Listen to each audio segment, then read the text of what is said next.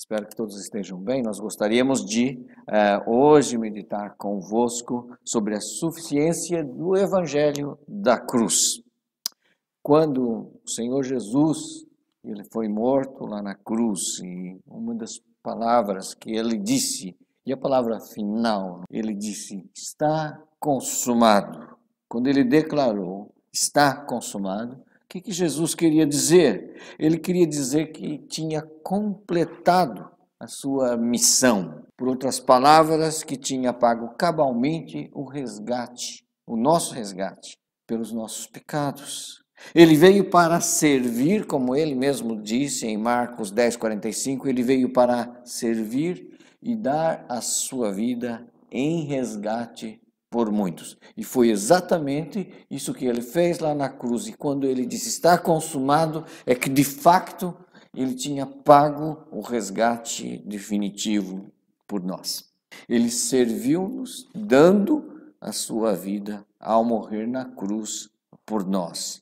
Paulo nos diz que o evangelho, a mensagem da cruz, era um escândalo para os judeus e era considerado uma loucura para os gentios, ou seja, os filósofos gregos da época. Mas ele dizia que para os que creem em Cristo é o poder e a sabedoria de Deus. Isso ele diz lá em 1 Coríntios 1, 23 a 24. O Evangelho, disse Paulo, é poder de Deus para a salvação de todo aquele que crê. Romanos 1,16. Mas é interessante que hoje muito se tem deixado intimidar diante de uma cosmovisão mundana. O evangelho da cruz tem sido substituído uh, por mensagens de autoajuda, por promessas de prosperidade e felicidade fácil. Mas os pregadores não são entertainers. Nós não existimos para que as pessoas fiquem confortáveis e alegres com uma vida fútil no seu pecado. Não existimos para que as pessoas fiquem alegres enquanto vão para o inferno. Nós devemos pregar o evangelho da cruz para que o Espírito convença as pessoas do pecado, para que elas sejam quebrantadas e conduzidas ao arrependimento e pela fé no que Jesus Cristo fez lá na cruz, elas possam receber o perdão e a salvação. Eu tenho às vezes dito que é preferível que um pecador entre chorando no céu do que vá rindo para o inferno. É? E esta é uma realidade às vezes nós não queremos admitir que o homem é pecador, mas nós pecamos porque nós nascemos no pecado, como Davi reconheceu no Salmo 51, 5, um salmo de confissão e arrependimento. Nós pecamos porque nascemos no pecado e vivemos num contexto de um mundo pecaminoso também caído. Queremos ser bons, mas na verdade nem sempre conseguimos e fazemos coisas que sabemos que estão mal porque vão contra os princípios da palavra revelada de Deus, estão em oposição ao propósito da criação. Nós, por nós mesmos não nos podemos salvar, não podemos nos livrar da culpa. Nós até podemos racionalizar o pecado para justificar as nossas opções egoístas, mas o pecado existe e está presente. Podemos não admiti-lo, mas o mundo está em desequilíbrio e uh, nós temos visto essas alterações no clima e parece que realmente eh, o que está aí a confirmar aquilo que Paulo disse que a natureza geme esperando a adoção dos filhos de Deus. O desequilíbrio da natureza do mundo não é culpa de Deus. Ele criou o mundo perfeito, mas o pecado do homem estragou tudo. Contudo, apesar do pecado, Deus não desistiu do homem e nem desistiu da sua criação. O plano de resgate foi enviar Jesus e o ponto central deste plano está na cruz. Ao morrer na cruz, como diz Paulo, Deus estava em Cristo reconciliando consigo o mundo 2 Coríntios 5, 19. Por isso, a cruz é um episódio central. Ela mostra-nos como quão horrível é o nosso pecado. Sabe que quando Pedro pregou o seu primeiro sermão, ele disse para os seus ouvintes: Vós o matastes, não é? Nós realmente devemos reconhecer que nós matamos o santo e justo Filho de Deus. Você pode me dizer, mas eu não estava lá. Sim, você e eu não estávamos lá, num certo sentido literal, mas estávamos porque ele morreu no nosso lugar. É? Provavelmente nós estaríamos lá também a dizer: crucificam, crucificam. Ele se deixou morrer e ele não ofereceu resistência, não por ser fraco, não por não poder resistir, mas por ser obediente até a morte e morte de cruz, como Paulo escreve em Filipenses 2, 8. Para que por sua morte, como diz o autor de Hebreus, ele destruísse aquele que tem o poder da morte, isso é o diabo, e assim livrasse do medo da morte, que todos nós éramos escravos. Hebreus 2, 14 a 15. Mas graças a Deus, Jesus não ficou morto. Ele ressuscitou, como diz Atos 2:24, e por isso nos pode dar vida a nós que com ele nos identificamos na sua morte e na sua ressurreição, como diz Romanos 6:4. E que essa identificação nós morremos com Cristo na morte pelo batismo. E é interessante que nós realizamos o batismo que expressa exatamente essa realidade espiritual quando submergimos a pessoa em água, depois emergimos, ou seja, identificamos-nos com ele na sua morte e na sua ressurreição. Por isso, nós não nos desviamos da centralidade da cruz, nem trocamos a mensagem do Evangelho por qualquer outra fórmula soft e mais aceitável às pessoas. Pregamos não aquilo que geralmente as pessoas querem ouvir, mas sim aquilo que elas precisam ouvir para serem salvas. Não queremos massagear o ego de quem está vivendo uma vida que não agrada a Deus e que a torna escravo de si própria e das suas próprias inclinações.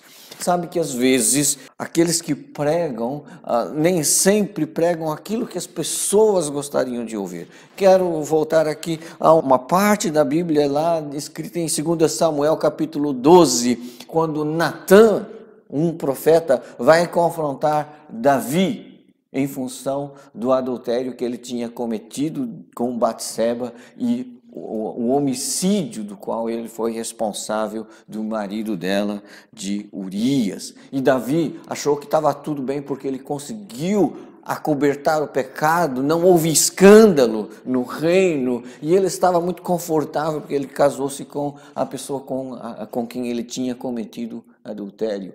E sabe que Deus enviou Natan com uma tarefa muito difícil de confrontar o rei Davi com o seu grave pecado que muito desagradou a Deus. Davi estava feliz da vida, eh, foi receber o Natan, que na verdade era um amigo dele, não é? Pensando que Natan tinha coisas maravilhosas para falar, ah, então, então como é que vai e tal. E Natan realmente o confrontou.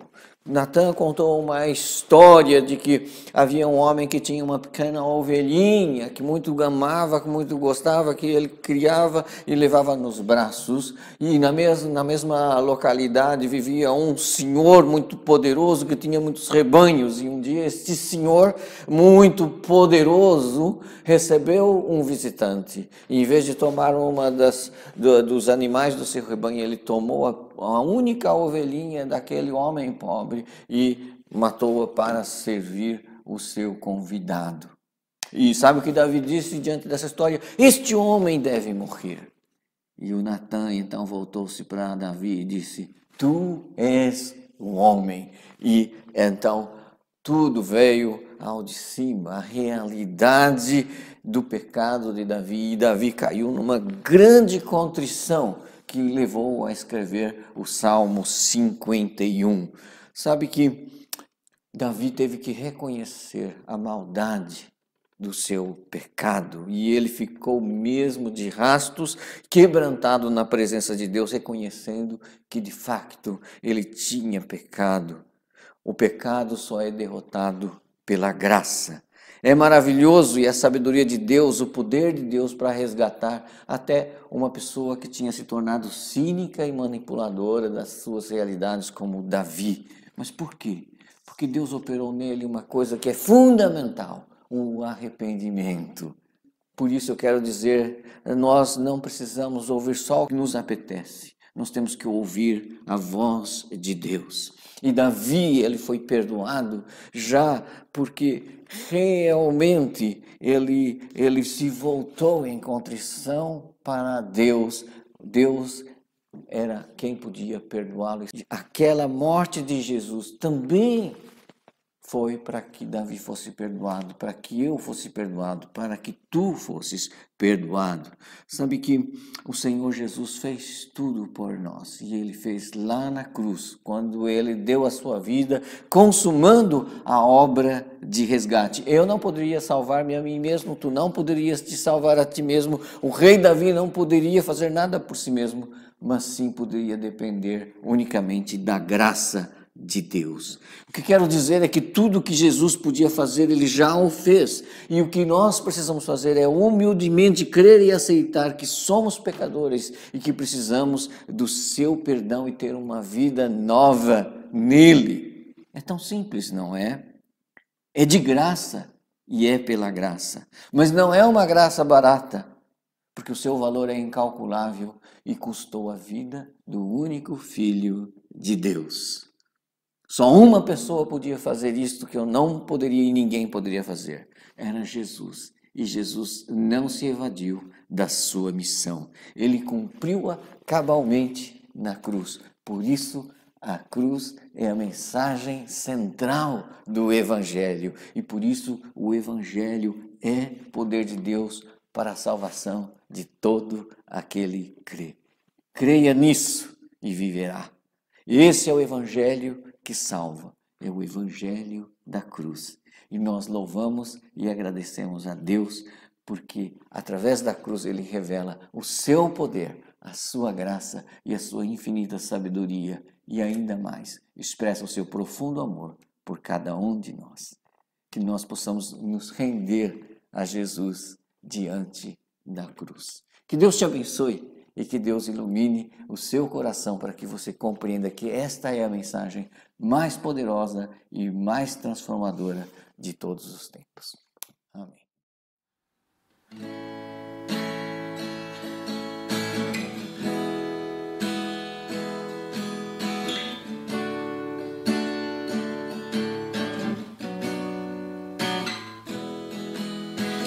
Pode ser que bom homem e se entregou pelo mais vil pecador, como sendo eu seu inimigo, sofrimento em meu lugar tomou. Naquela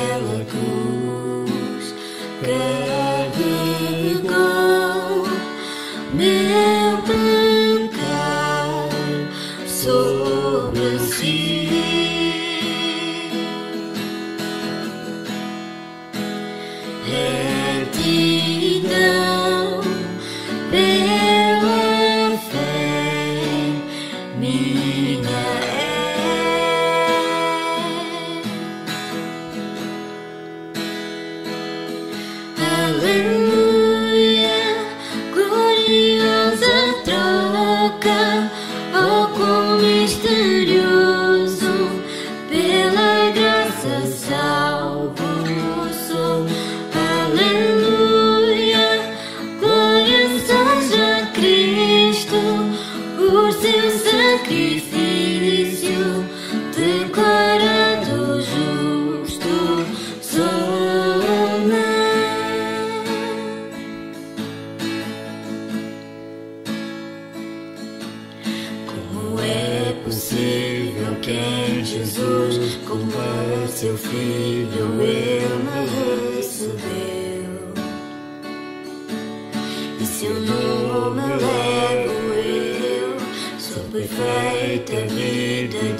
obediência ao Pai, por eu crer, Ele me otorgou e perdão.